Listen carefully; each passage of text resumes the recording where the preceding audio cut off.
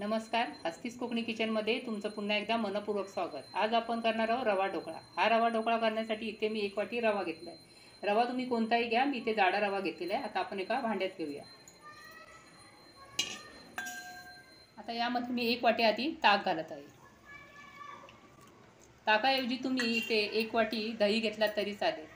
जर दही खूप आंबट असेल तर अर्धी वाटीच घ्या. आता यामध्ये चवीनुसार मीठ घालायचं आहे तर मी ते पाव चमचा मीठ घेतलेलं आहे. मिरची आलं पेस्ट घातलेलं आहे. तर इथे एक मोठी मिरची आणि अर्धा इंच आलं घेतलेलं आहे. तर हे थोडंसं घट्ट झालं आहे तेव्हा. परत एकदा पावटी मी यामध्ये ताक घालते. आता हे चांगलं मिक्स करून घ्यायचं आहे मिक्स झालेलं आहे तर यावरती ठेवायचं झाकण आणि पंधरा मिनटं बाजूला ठेवायचं. आहे आता पुढची तयारी करायला घेऊया. आता ज्या भांड्यामध्ये तुम्ही ढोकळा करणार असाल त्या भांड्यामध्ये आपल्याला पाणी घालायचं आहे आणि इथे एक रिंग देखील ठेवायचं आहे तर मी दीड तांब्या पाणी घातलेलं आहे. एक दीड इंच तरी वरती पाणी आलं पाहिजे एवढं पाणी आपल्याला यामध्ये घालायचं आहे आता हे पाणी आपण मंद आचेवरती गरम करायला ठेवूया. यावरती झाकण ठेवायचं आहे पाणी आपलं गरम होतं आहे तेव्हा आपण इथे एका भांड्यामध्ये तेल टाकायचं आहे तर एक चमचा मी तेल घातलं आहे कुकरचा डबा घेतलेला आहे मी इथे.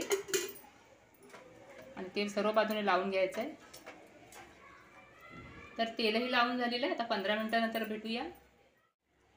पंधरा मिनटं झालेली आहेत आणि बाजूला पाणीही गरम झालेलं आहे. आपण हा रवा भिजण्यासाठी म्हणजे फुलण्यासाठी पंधरा मिनटं बाजूला ठेवला होता. आता यामध्ये आपण राहिलेले साहित्य घालूया. तर यामध्ये चिमूडभर आपल्याला साखर घालायचे साखर घातल्याने याची चव दुप्पट होते. तेव्हा आवर्जून यामध्ये साखर घाला.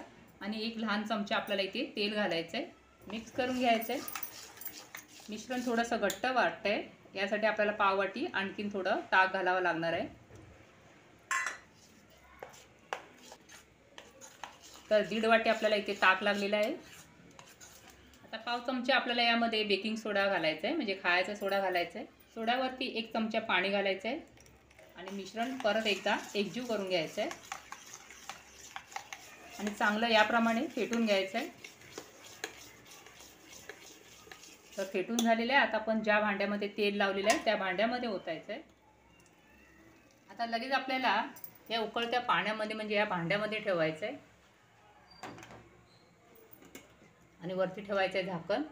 आणि पंधरा वीस मिनटं आपल्याला हे छान वापून घ्यायचं आहे. आता इथे गॅसची आत मोठी करा. वीस मिनटं झालेली आहेत. आता गॅस बंद करूया. तर बघा छान असा ढोकळा फुगला आहे. आपण आता काढून घेऊया. आणि आता हा डबा आपण पंख्याखाली पूर्ण थंड करून घेऊया. तर आता ढोकळा पूर्ण थंड झालेला आहे. आता बाजूचा कडा सोडून घेऊया. सुरीला आधी थोडंसं पाणी लावायचं आहे आणि नंतरच कडा असं सोडून घ्यायचं आहे.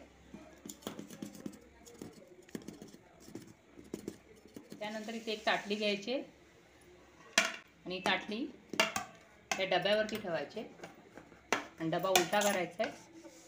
थोडंसं असं वरून ठोकायचं आहे. त्यानंतर डबा वरतून अलगत असा उचलायचा आहे.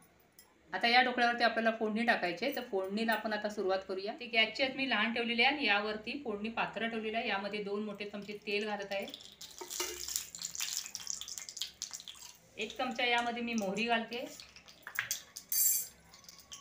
एक हिरवी मिरची मी कट करून घेते तीही घालत आहे. कारण आपण मिश्रणामध्ये मिरची घातलेली आहे तेव्हा एकच मिरची यामध्ये घ्या.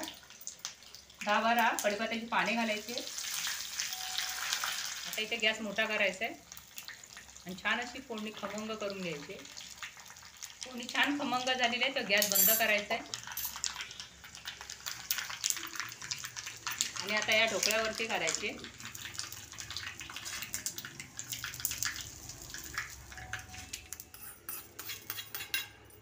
आता यावरती घालायचं आपल्याला बारीक चिरून घेतलेली कोथिंबीर.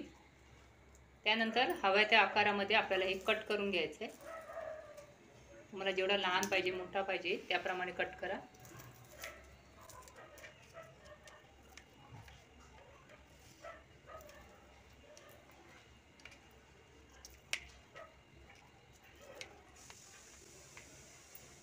तर एक मी बाजूचं तुम्हाला उचलून दाखवते.